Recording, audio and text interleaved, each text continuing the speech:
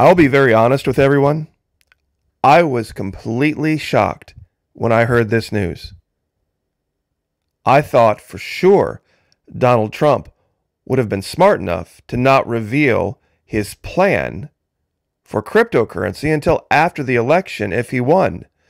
But there is a headline out now that proves everything this channel has said about what's going to happen with cryptocurrency after the election is completely 100% true.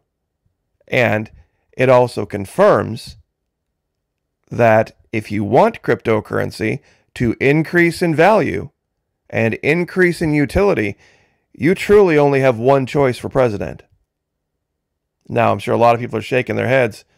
Florida Maquis, nobody's talking about this. What are you talking about? Why do you think Kamala Harris is going to be president? Well, there are other things as well on top of the issue with cryptocurrency that are now starting to be revealed. Even Donald Trump himself, I believe, knows that his campaign is pretty much over and it's a fool's errand. Now, if you'd like to join us, it's actually tied to something that happened back in 2020. A lot of people don't believe that election was on the up and up, and that's fair. Everybody's entitled to their own belief. But there is psychological operations evidence that perhaps we were all wrong.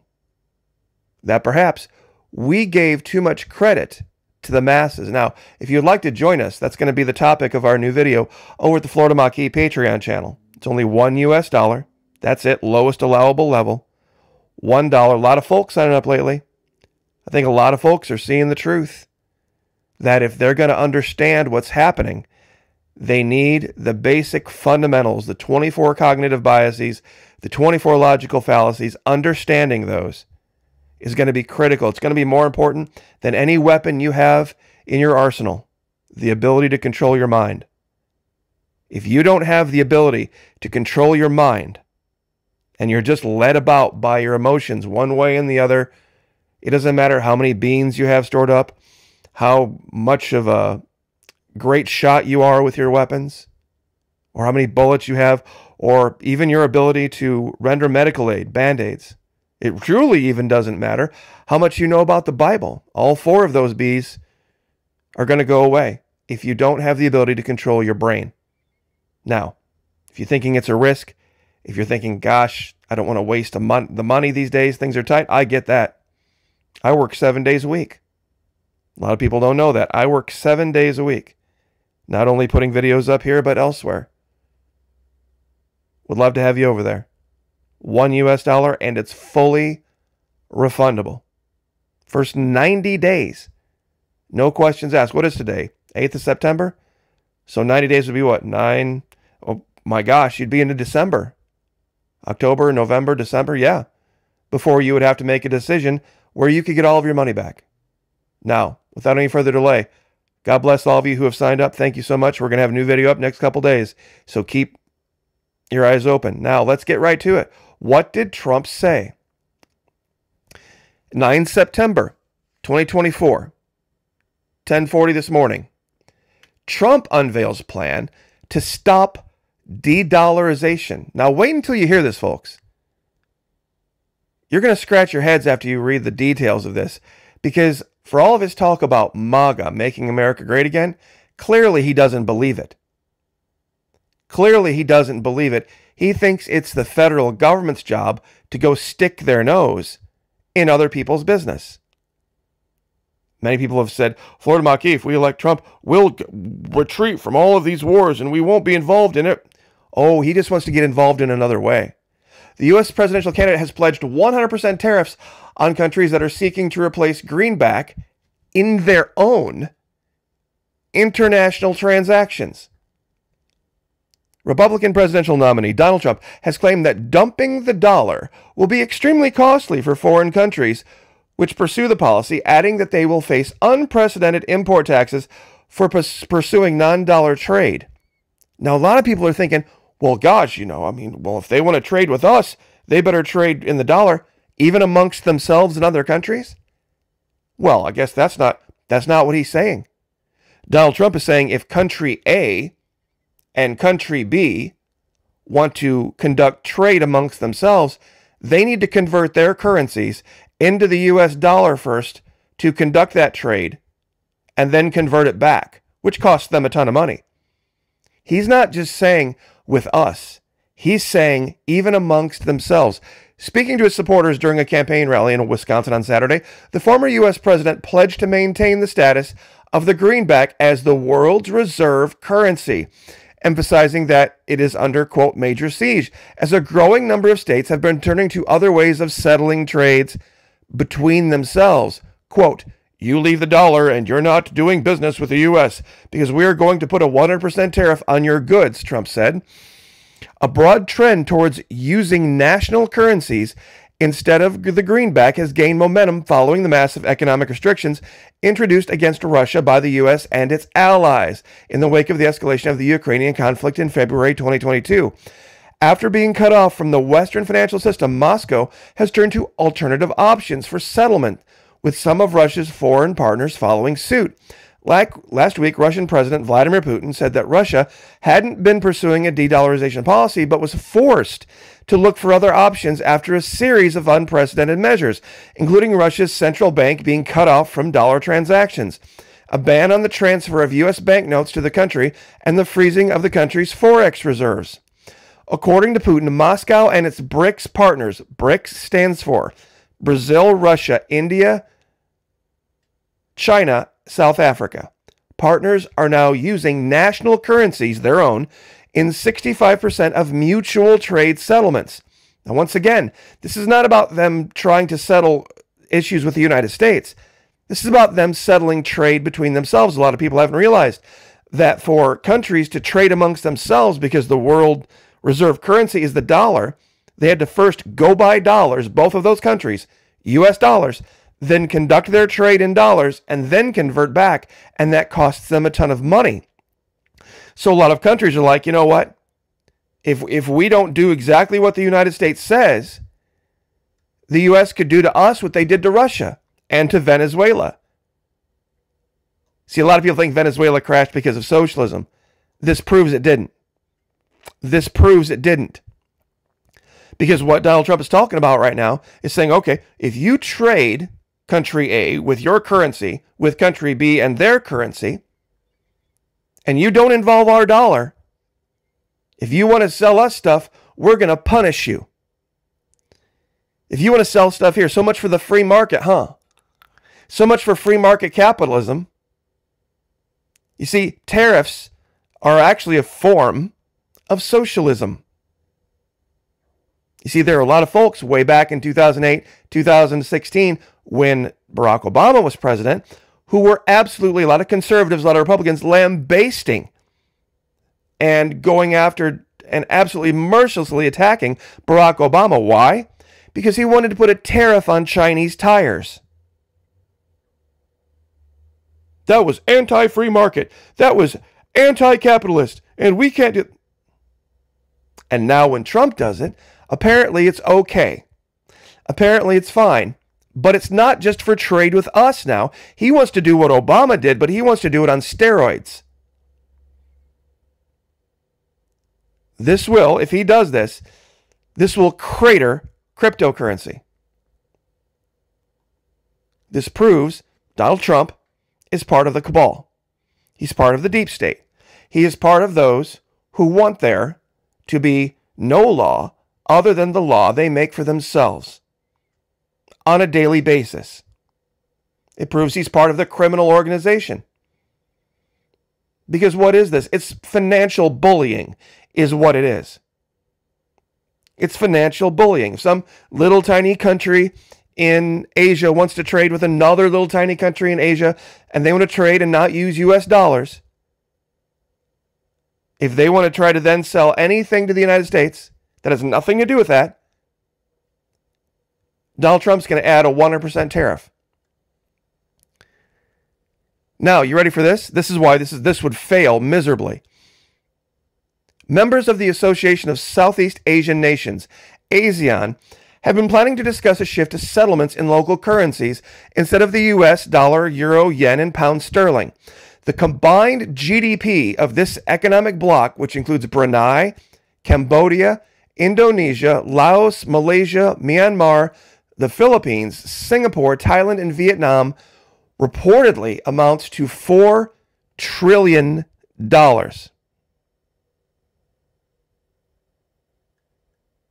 You see, he understands that sanctions are damaging the dollar, but he still wants to strong arm people into doing things his way. I want you to remember that term financially strong arming people into doing what you want, regardless of what they think is good for them. Strong arming people into doing things that they don't want to do. Hmm. Sounds familiar. Sounds familiar. And let's go over this one more time, those of you who are still staunchly supporting Donald Trump. When confronted in court under deposition about E. Jean Carroll, the thing, you know, this uh, sexual abuse thing, 26 other women, by the way, had accused him of the same thing, one of which lives overseas and has no connection to the Democrat Party whatsoever. He said, you know what? She's not my type. She's not my type. Now, that's the, you know, I don't know what the term you'd use is. That is Ask any cop. That is what every rapist says. But then this came out. You see, on the left is Donald Trump's second wife. Who's that? Marla Maples.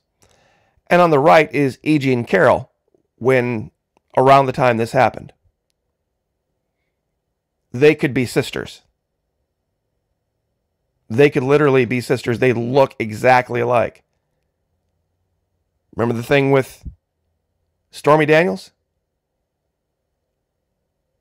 Imagine, guys, and I want you guys out there to just take a moment and think about this. You're 60 years old. You're on your third marriage. Your wife is at home. She doesn't want you around. She's just had a baby. She wants time to herself. So you take off to a golfing outing and you're a Democrat. You see, a lot of people forget this. Donald Trump is a Democrat. Remember, you're, you're a Democrat billionaire with impunity. And you run into this really good looking 26 year old porn star who looks just like, just like your first wife when you met her.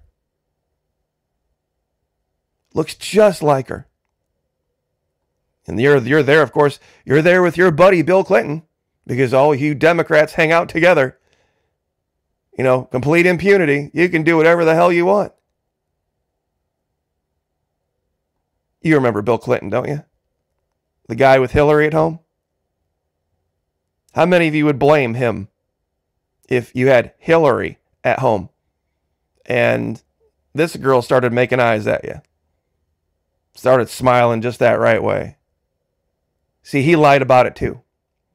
He lied about it too. It's just this girl was smart enough to keep some evidence. This girl was smart enough to keep some evidence. This girl didn't. It's a different time, different era. You see, this whole thing with Trump just has a massive logic failure for me.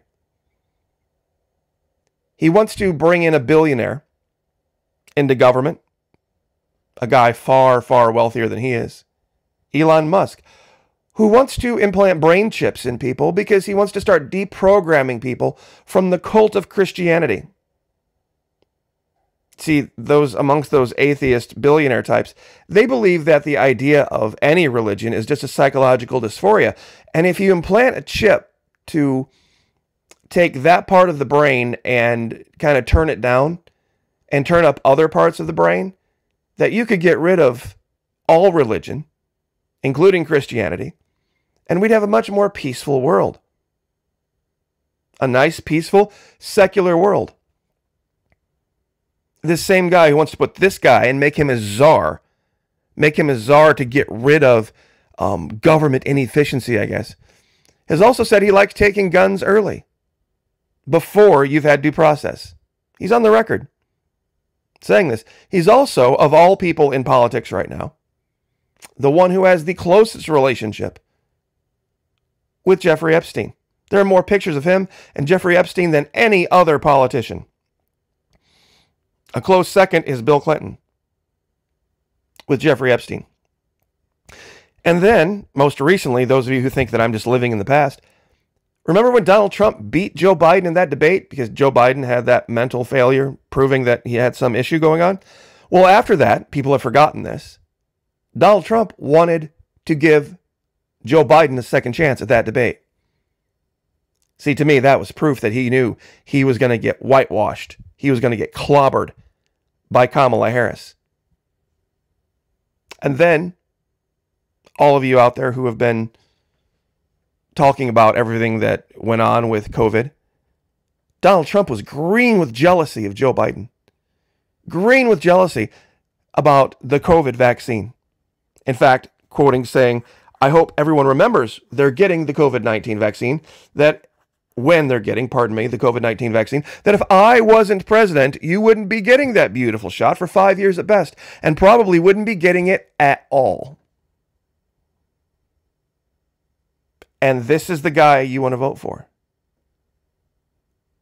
This is the guy you want to vote for? Deprogramming the cult of Christianity, wants to take your guns, good friends with Epstein, wanted to give Joe Biden a second chance to win a debate, I guess and then wants credit for the vaccine. Don't believe me? If you don't believe me, why don't you listen to this Trump this uh, channel? It's a huge Trump supporter. Now, good people can disagree on things. This is Lisa Haven. We've talked about restricted republic and Justice Knight, and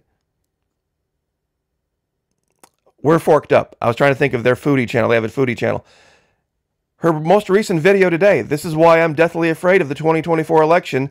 Please don't miss this. Let's go ahead and listen to her own words. Today's broadcast. I am deathly afraid of what is going to happen in the 2024 election. And what I mean by that is I am deathly afraid that communist Kamala Harris and Tim Walz are going to win the election. And I mean that with all honesty. I pray every day that that doesn't happen. I don't know how the election is going to go down. But because of the mere fact that the mainstream media is out there right now, all for the most part, all except for maybe 10%, 90% of the mainstream media is sending a pro Kamala Harris message to the American people and they're sucking it up, and a negative message to the American people uh, about Donald J. Trump. In fact, they're out there lying off their keisters about Donald J. Trump. They're saying that it's his Project 2025, which it's not. He has nothing to do with that. In fact, uh, the Heritage Foundation, it's a conservative think tank, they, they put stuff like that every single time out. No, I'll let you watch the rest of that for yourself because I don't want to step on their channel. But here's the idea. You see, she lives in Arizona. Arizona is one of those states now that's up for play and very, very important to both campaigns. So I'm sure that Lisa Haven, Justice Knight are seeing a lot of ads from both camps. You see, here in Florida, we're no longer a swing state. We used to be the swing state of all swing states in Florida. But we're no longer a swing state. Now, I think the contrast is really something that deserves a lot more attention, and we'll probably do this in another video. But the idea of the mainstream media being all in the bag for one or the other, isn't that capitalism? Wouldn't the idea of fair coverage, the idea, well, they need the mainstream media needs to be as you know much in the, I guess they should give as much good coverage and bad coverage to both candidates. Isn't that socialism? The idea of forced fairness? Now, I don't want to say anything negative about Lisa Haven, Justice Knight, Restricted Republic. Love their channel, love their content, but they are smart. They are absolutely two of the smartest YouTubers out there. Why? Because they understand how marketing works. They understand the game very clearly that if you have a message you want to put out there, you need to understand how the game works. You need to understand how you bring people in. They have a huge command of this. They have Justice Knight, they have Lisa Haven, Restricted Republic. Um, they have Instagram, Instagram, Facebook, all of the social media everywhere. This is their website for We're Forked Up. You can sign up at Restricted Republic, just like it sounds. It's absolutely a, a great um, series of videos, but make no mistake, they understand how marketing works. And why do I say this? Why am I leaving with this? Well, Kamala Harris's campaign seems to have a better command of how marketing works, which I guess is the irony of all ironies that you would accuse her of being socialist when they're doing a much better job of utilizing the free market and capitalism than Donald Trump is. You would think this guy was the socialist. Demanding fairness for everyone, demanding everything be fair all the time for everyone. How many times have we heard Donald Trump complain, I'm not being treated fairly. I'm not being treated fairly. And now he has come out and said that he wants to punish countries that trade amongst themselves in their own currencies. That he wants everybody, everybody everywhere in the whole world to have to convert their currencies to the dollar to conduct international trade. That's probably the single most deep state thing I've ever heard. It's wholly criminal. Truly. I mean, you can talk about, you know, pulling troops back from here, pulling troops back from there, but if you destroy somebody's finances, if you destroy their economy, that's far worse than war. Which uh, which founding father was it that said somebody's going to have to help me out here? Um, that if you allow, give me control, give me control of a country's the printing of a country's currency, and I care not who makes its laws?